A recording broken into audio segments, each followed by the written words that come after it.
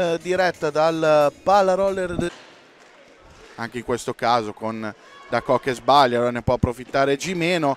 Conclusione la palla rimane lì e entra in porta.